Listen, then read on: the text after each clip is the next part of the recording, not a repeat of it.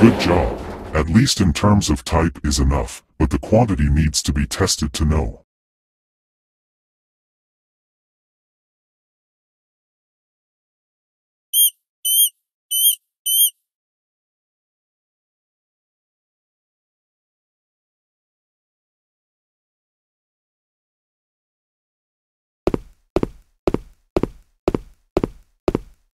Follow me, let's see what you can do with this gun.